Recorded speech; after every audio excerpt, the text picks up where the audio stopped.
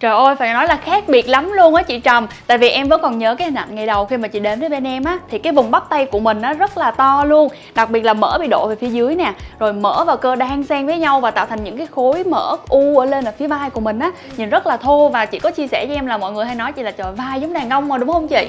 Và đặc biệt hồi đó thì chị cũng chia sẻ với em là mình không dám mặc những bộ đồ mà hai dây hay là sát nách như thế này đúng không chị Trầm? Đúng rồi đó em, tính ra là chị đo lại á là cái bắp tay của chị chị giảm khoảng 6cm lần đó. Trước á, chứ lúc bây giờ của chị là khác nhau một trời một vực luôn. Tủ đồ của chị á, lúc đó chỉ toàn là những cái áo phông nè, áo khoác nè.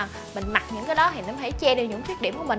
Nhưng mà kể từ khi chị giảm cân thành công nha, bắp tay thon, cái vai của chị nó thon gọn hơn á Thì chị tự tin lắm. Bây giờ mở cái tủ quần áo của chị ra lúc nào cũng toàn là những bộ đồ hai dây nè, sexy nè, hở vai, khoe tay rồi nè.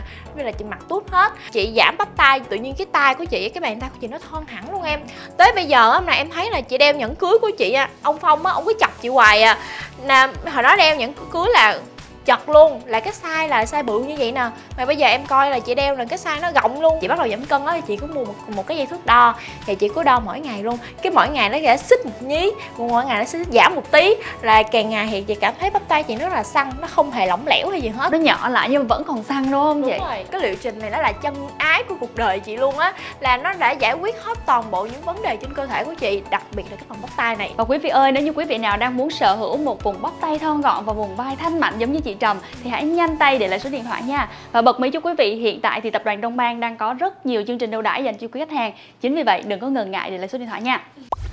Gọi hotline 082 853 6666 hoặc inbox đăng ký ngay để được tư vấn miễn phí.